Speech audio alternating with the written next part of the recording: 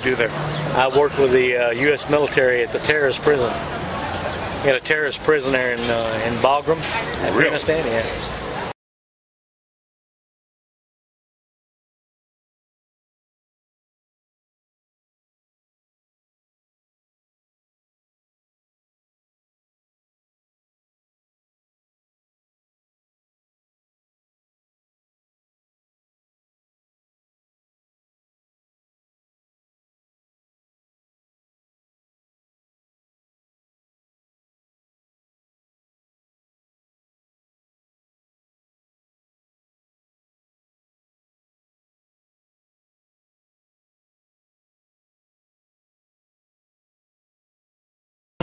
We snatch them up and take them to Guantanamo. So that's what I do.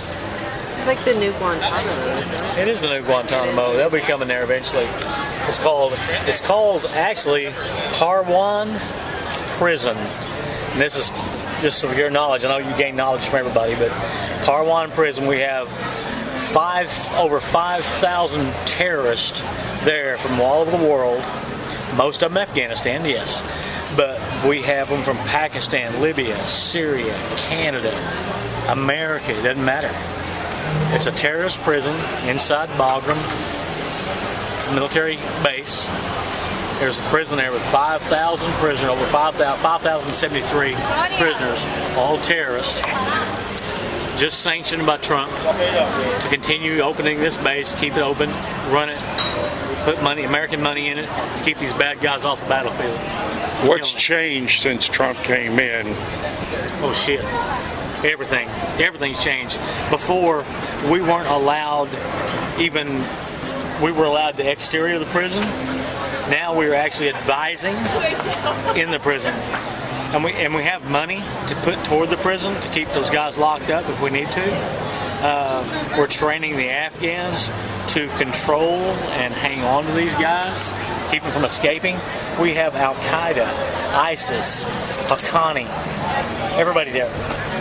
Everybody. How big of a dent have we made since he's got in? I mean, we hear Oh, reports shit. in the news that, you know, ISIS is almost gone and all this stuff. I mean, Okay, I'll give you an example.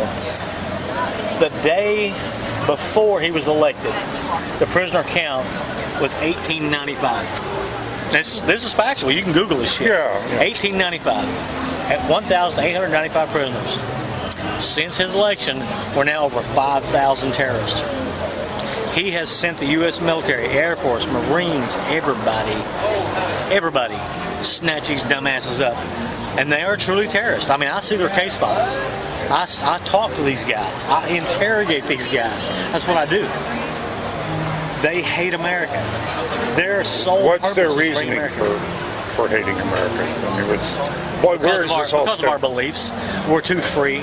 We don't have any rules and guidelines. If we if we weren't there, would they be messing with us at all? Oh God, yeah, yeah, the yeah. They would be. They would be in America. In fact, we, we there's several there that were snatched up in America Oh yeah, I, that, that we brought over there. They they were trying to do us harm. They don't believe in the American way. For one, women should not have their hair uncovered and this type. Oh of, yeah. You know. Now there's also things that you know that in their beliefs, it's okay to lie to an infidel. Sure it is. That's It's okay to kill an infidel. yeah. In other words, anything that isn't you, Yeah. that's shown over and over again by Yeah. their actions. How? But you know, the question is, uh, I'm going to get uh, hear from the so-called moderate Muslims or reform Muslims. Well, and let me say this: the true Muslims are good people. They really are. I know. I know. I have friends that are Muslim. It's not about Muslim, and that's. I think that's where America's twist Yeah. is. They're uneducated. Yeah. And Canada and people like that. True Muslims are good people. Yeah. They really are.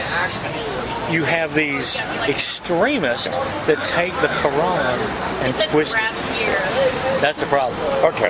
Yeah, no, no, that's that's pretty much. Yeah. That, that sounds well. It sounds natural anyway. I mean, if if Yeah. all It because the numbers don't fit. If all the we Muslims ra- were, were radicals, we would have been dead a long time ago. Well, yeah, there's billions of them. Yeah, so- you know what? America's coming for you.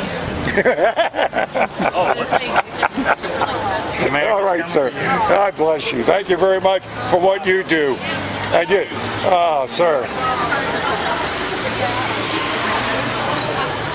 As I said, folks, you don't get this uh, anywhere else. I don't invite these people. They just walk up.